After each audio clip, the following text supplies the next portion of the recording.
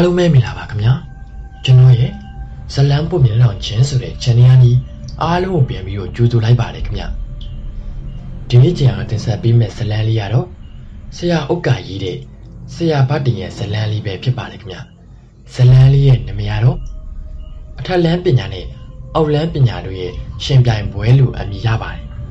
ဟုတ်ကဲ့ကျွန်တော်နာမည်အာကာလို့ခေါ်ပါတယ်ဗျာဒါဆိုရင်တော့ကျွန်တော်ရဲ့ဇလန်းလေးကိုစတင်လိုက်အောင်ခင်ဗျာ အေးချမ်းတာယာမှုတွေနဲ့ပြည့်နေနေတဲ့မနက်ခင်းလာလေးကိုတော့မိမတယောက်ရဲ့စူဝါသွားအော်ဟစ်တန်နဲ့စတင်လိုက်ပါတယ်အမလီ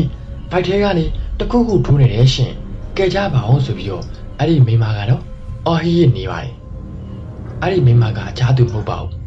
ညောင်မီရွာရဲ့အလှပကြီးကိုးနောင်ကန်ပန်းနောင်ကန်တယောက်ပဲဖြစ်ပါတယ်သူ့ရဲ့နာမည်ကတော့ခင်လာရီဖြစ်ပါတယ်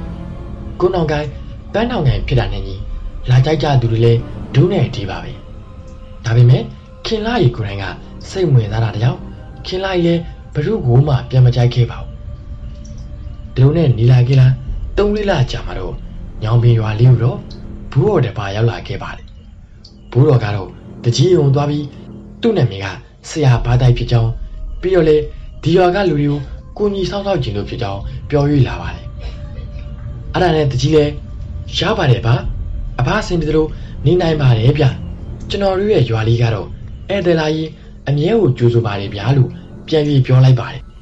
ဒါနဲ့ဆရာဘားတိုက်လည်းတကြီးရဲ့အိမ်မှာနေထိုင်ပြီးတဲခုလိုက်ပါတော့တယ်တညမှာတော့ဆရာဘားတိုက်တယောက်ကြွားသားတွေလင်မညောင်ပင်ရွာတညဟိုတော့ဘယ်သူမှမသိရင်ထွက်လာခဲ့ပါတယ်တညရောက်တဲ့အခါမှာတော့သူ့ရဲ့လွယ်ထရကနေစမိန်စာတစ်ခုကိုထုတ်ပြီးတော့တင်းချိုင်းမြေပေါ်ပစ်ချလိုက်ပါတယ်။ပါဇက်ကနေလည်းတစုံတစ်ခုကိုတော့ တီတိုရွတ်ဆိုလိုက်ပါတယ်။အဲဒီအချိန်မှာတော့လေပြင်းတစ်ချိုက်ကတိုက်ခတ်လာပြီးပတ်ဝန်းကျင်မှာလည်းခွဲဥတန်တွေကထွက်ပေါ်လာပါတယ်။ရုတ်တရက်ဆိုဆိုပဲဥပါတိုင်းရဲ့ရှေ့ကိုတော့အရေးမဲတစ်ခုကကြောက်ရောက်လာပါတယ်။ဥပါတိုင်းလည်းအဲ့ဒီရေးမဲကြီးကိုတော့လက်ညှိုးထိုးပြီးတော့တစုံတစ်ခုကိုခိုင်းစီလိုက်ပါတယ်။နောက်တစ်နေ့ရောက်တဲ့အခါမှာတော့ပထမအပေါ်ကကြားခဲ့သလိုပဲညောင်ပင်ရွာကချောလာလေးခင်လာရီတယောက်ကတော့နေရင်ထိုင်ရင်ဘိုက်နာတယ်ဆိုပြီးတော့ထားော်လာခြင်းဖြစ်ပါတယ်။ ဒါနဲ့ပဲလူလူလည်းဘာလို့လို့ပါခံရမယ်မသိဖြစ်နေပါတော့တယ်။ဟဲ့ကောင်မြင့်ခင်မင်းသမီးကဘာဖြစ်တာလဲကွာအစားများမှားနေလို့လားမသိပါဘူးတကြီးဟာလောက်ကြပါအောင်ဗျကျွန်တော်သမီးလေးကိုကဲပါအောင်အေးဒါရေးကြီးတယ်ကွာအချိန်မရှိဘူးဒီတိုင်းနေလို့ကတော့အသက်အနေနဲ့ကြုံနေမယ်သူတို့တွေလည်းအဲ့လိုပြောဆိုနေချိန်မှာတော့ဆရာဘားတိုင်းတယောက်ရောက်လာပြီးတကြီးဒီလူနာကိုကျွန်တော်ကြည့်လို့ရမလားဗျဗျာ ဆရာကကုနိုင်လို့လားကုနိုင်မယ်ဆိုရင်ကုညီပါအောင်ဆရာရဲ့အားကိုးပါတယ်ဗျရပါတယ်တကြီးဒါကတော့အချင်းကြီးကိုကြည့်ပြီးဆုံးဖြတ်ရမှာမို့လို့ပထမဦးဆုံးလူနာကိုပြပါတကြီးဆိုပြီးတော့ဥပါတိုင်းတယောက်လဲခင်လာကြီးကိုတစ်ချက်ကြည့်လိုက်ပါတယ်ပြီးတော့လဲဗဇက်ကနေပြီးတော့တစုံတစ်ခုကိုရွတ်ဆိုလိုက်ပါတယ်ပြီးတော့လဲနှကန်းကနေပြီးတော့အတိတ်ဘာဘာတစ်ချက်ပြောလိုက်ပါတယ်ဒီလိုပြောမျိုးကတော့အတိတ်ပဲမျိုးစုံတက်ရောက်နေရဘယ်သူမှမသိလိုက်ပါဘူး ကဲတကြီးရေဝမ်းတာလိုက်တော့ဗျကြုတ်ကဲနိုင်နေဗျာတကယ်ပြောတာလားဆရာဦးမြင့်ခင်ကတော့ဝမ်းတာတန်ကြီးနဲ့မေးလိုက်ပါတယ်ဟုတ်တယ်ဗျဥပါတိုင်းလဲတခုံးမဲ့ပြန်ပြောလိုက်ပြီးတော့သူ့ရဲ့အိတ်ထဲကနေစေးတလုံးထုတ်လိုက်ပါတယ်ပြီးတော့လဲဂါရတစ်ခုကိုယူလိုက်ပါတယ်ရွတ်ဖက်ပြီးတဲ့အချိန်မှာတော့အဲ့ဒီစီလုံးလေးကိုခင်လာရီကိုတိုက်လိုက်ပါတယ်တိတ်မကြပါဘူးခင်လာရီကျောက်ကတော့ခုနကသူမုတ်တဲ့အတိုင်းအကောင်းပကတိပြန်ဖြစ်သွားပါတော့တယ် အဲ့ဒီကိစ္စဖြစ်ပြီးကြရတော့ဥပလိုက်တယောက်ညောင်ပင်ရွာလေးမှာကိုကိုွယ်ရလို့ဖြစ်လာခဲ့ပါတယ်ယောဂတစ်ခုဖြစ်တိုင်းဥပတိုက်ကိုတော့လာလာပြီးတော့ပြကြပါတယ်ထူးဆန်းတာကတော့ညောင်ပင်ရွာလူတွေတပရားတခါတော့လူတယောက်ကတော့အနည်းဆုံးဝေဒနာကိုခံစားရပါတယ်ပြီးတော့လေ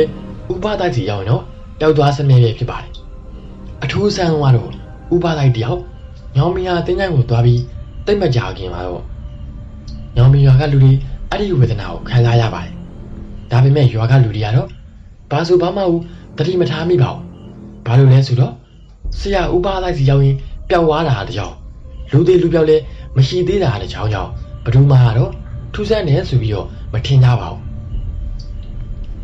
ဒီလိုမျိုးနေလာကြကြရင်လာပေါင်းများစွာကြာမှာတော့ညောင်မင်းသွားရာလေးရွာဝင်သွားဦးခြေထောက်တစ်စုံကလာရွရက်ပါတယ်အဲ့ဒီခြေထောက်ပိုင်ရှင်ကတော့တအခြားသူမဟုတ်ပါဘူး ပယောကဆရာဆရာဥပတင်ပဲဖြစ်ပါတယ်ဆရာဥပတင်ကတော့ရွာရဲ့လမ်းကနေပြီးရွာလမ်းတက်တဲ့ကိုရှောက်ဝင်လာပါတယ်တကြီးအိမ်ကိုမင်းမြင်းရင်းနဲ့ဝင်လာခဲ့ခြင်းဖြစ်ပါတယ်ဒီလိုနဲ့တကြီးအိမ်ကိုရောက်တဲ့အခါမှာတော့ဖြို့တကြီးတကြီးရှိလားဗျဗျာဘယ်လိုလဲဗျကြွပါဗျအိမ်ပေါ်ကိုကြွခဲ့ပါဗျလို့တကြီးလဲယူသေးလေးစားတာနဲ့ပြန်ပြောလိုက်ပါတယ်ဆရာဥပတင်လဲတကြီးအိမ်ပေါ်ကိုတက်သွားပြီးတော့ဟုတ်ကဲ့ပါဗျ ကျွန်တော်နာမည်ဘာတင်ဖြစ်ပါတယ်ပယောကကုတဲ့ဆရာပါဗျအော်ဟုတ်ကဲ့ဆရာကျွန်တော်ဗာမြဲကူညီပေးရမလဲဒီလိုပါဗျဒီရွာမှာနာမည်ကြီးနေတဲ့ဆရာဥပတိုင်းနဲ့တွေ့ရင်လို့ပါဗျအော်ဆရာဥပတိုင်းလားအရင်ကတော့ဆရာကကျွန်တော်တို့အိမ်မှာတဲတယ်ဗျ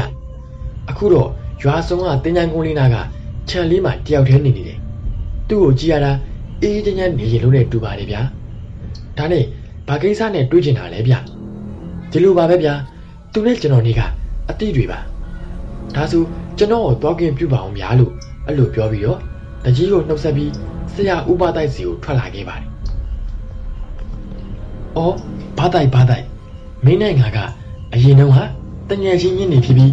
ငါကအထက်ကခိုင်းစီမှုကြောင့်အထက်လန်းဆရာဖြစ်ခဲ့ရတယ်။မင်းကတော့မိစ္ဆာယူဝါဒကိုဆွဲပြီးရုံငဲ့တဲ့ပညာတွေကိုသင်ခဲ့ရတယ်။ဘာပဲဖြစ်ဖြစ်တငယ်ချင်းရဲ့ မင်းကိုဒီနေ့တော့ငါချွတ်ရမယ်အချင်းရောက်ခဲ့ပြီလို့တယောက်တည်းစိတ်ထဲမှာတွေးရင်ဥပတိုက်ရဲ့အိမ်ကိုရှောက်လန်းလာပါတယ်။အဲဒီအချိန်မှာပဲဆရာဘာတင်ရဲ့ရှိတဲ့တဲ့ကိုတော့ဘယ်ကမှမသိရဲ့ခွင်းနဲ့ကြီးသုံးအောင်ခမူးကယူပြချလာပါတယ်။ဆရာဘာတင်လည်းရုတ်တရက်အံ့ဩသွားပြီးတော့နောက်ဆုံးမှာတော့အော်ဘာတိုက်ဘာတိုက်မင်းကငါ့ကိုတော့ဒီလိုကြိုးစိုးနေပါလားလို့ဆိုပြီးခွေးသုံးအောင်ဘက်ကိုတော့ရုတ်တရက်ကြည့်လိုက်ပါတယ်။ပြီးတော့လေဟဲ့လို့ ခက်ထန်ထန်ပါဇက်ကနေអော်လိုက်ပါတယ်။ခွေးသုံးအောင်လဲတစုံတရာကိုကြောက်လန့်သွားသူနဲ့နောက်ကိုပြန်လှည့်ပြေးသွားကြပါတယ်ဒီလိုနဲ့ဥပတိုက်ရဲ့ခြံဝင်းကိုဆရာဥပတင်ရောက်လာခဲ့ပါတယ်အဲဒီချိန်မှာတော့အိမ်ထဲကနေပြီးကဲတငယ်ချင်းကြီးထိုင်ကုန်ဝတ်ထိုင်ပြီးအိမ်ထဲကိုဝင်ခဲ့ပါကွာအဲ့လိုစကားတန်ကြီးထွက်လာပါတယ်အဲဒီချိန်မှာပဲဥပတိုက်ရဲ့အိမ်ထဲကနေပြီးတော့ထိုင်ကုန်တစ်ခုကတော့ရုတ်တရက်ပဲလေပေါ်ပြန်ပြီးထွက်လာပါတယ် ဆရာဥပတင်ကတော့အဲ့ဒီအချင်းရာကိုကြည့်ပြီးတော့ဟန်ပါပါတစ်ချက်ပြုံးလိုက်ပါတယ်ဟဲ့ကောင်ဘာတိုက်ရပါတယ်ကွာအဲ့လောက်တိမလိုပါဘူးကွာငါဘာသာငါချက်တောင်းနဲ့ပဲလာပါမေးဟာမင်းရဲ့ခုံကြီးကိုလည်းကြည့်ပါဦးအကျိုးကြီးကွာလို့ပြောလိုက်တယ်ဆိုရင်လေထဲမှာပြန်နေတဲ့ခုံကြီးကတော့ရုတ်တရက်အောက်ကိုပြုတ်ကျသွားပြီးဆုတ်ပြတ်တက်သွားပါတော့တယ်အိမ်သွေးရောက်သွားတဲ့အခါမှာလေဟဲ့ကောင်ဘာတိုက်မင်းကကြီးွားနေပါလားကွာဒီလိုပါပဲဘာတင်ရ ဒါနဲ့မင်းရောဘာစားပြီးပြီလဲကွာမစားရသေးငါချက်လိုက်အောင်မေအဲ့လိုပြောပြီးတော့သမင်းဦးတွေကိုစမ်းတဲ့အဖုံးဖုံးပြီးတော့သူ့ရဲ့လက်ဝါးနဲ့ရလိုက်ပါတယ်အဲ့ဒီချိန်မှာပဲသမင်းဦးကတော့အငွေတွေတထောင်ထောင်ထလာပါတော့တယ်ရောက်ပါတည်ဒီသမင်းဦးတွေကသမင်းတွေကိုခူးပြီးစားလိုက်ဟင်းကတော့ကြောင်ရင်းထဲမှာရှိတယ်ဒါနဲ့ဆရာဘာတင်လဲသမင်းဦးကိုယူလိုက်ပြီးတော့လျှောက်ဘာတိုင်ဗမာလဲကွာမင်းပြောတော့သမင်းတွေဆို အခုကတော့စံမဲရှိပါသေးလားကွာဆိုပြီးတော့သမင်းဦးကိုခွင့်ပြလိုက်ပါတယ်အဲ့ဒီခါမှာတော့ဥပါဆိုင်တယောက်လည်းအံ့ဩမှုများစွာနဲ့မျက်နှာပြက်ပြင်းသွားပါတယ်။သမီးကိုတရားကြည့်တော့လေအထဲမှာတော့စန်ဒီပဲရှိပါသေးတယ်။စန်ဒီကတော့ဘာမှပုံစံမပြောင်းဘဲပကတိတိုင်းပါပဲ။ဒါနဲ့ပဲအေးပါကွာဘာတီဟာငါပြန်ချက်လိုက်ပါမယ်ဆိုပြီးတော့အိုးကိုလက်နဲ့ပြန်ပို့လိုက်ပါတယ်။ဒါပေမဲ့အိုးတွေကဆန်ကတော့ဘာမှထုံးမလာတော့ပါဘူး။ဘလို့ပင်စူးစားစူးစား ဘာမှပင်ဖြစ်မလာပါဘူး။သူ့ရဲ့နှုတ်ကနေဂါရာမန်နယ်ဒီကိုအထက်ထက်ရွတ်ပေမဲ့လေအိုးကတော့ဘာမှကိုထူးမလာခဲ့ပါဘူး။နောက်ဆုံးမှာတော့တငယ်ချင်းဖားတိုက်မင်းမကြိုးစားနေပါနဲ့တော့ကွာ။မင်းရဲ့ခိုင်းစီကောင်းငါရဲ့ပညာနဲ့ချုပ်လိုက်ပြီကွာ။တငယ်ချင်းရဲ့မင်းလည်းအခုနေနိုင်စားနိုင်နေပါပြီ။ဒီလိုလုပ်တွေကိုမလုပ်ပါနဲ့တော့ကွာ။သူငယ်တဲ့ကောင်ကိုမကောင်းကြံပြီးမှရမ်းမဲ့ပတ်စံတွေကိုမတုံးကျင်စမ်းပါနဲ့ကွာ။တန်နေရာမှာမင်းတို့ကမကောင်းကျိုးတွေပဲညားလိုက်မယ်ကွာလို့ ဥပတိုက်ကိုပြောလိုက်ပါတယ်။ဥပတိုက်လည်း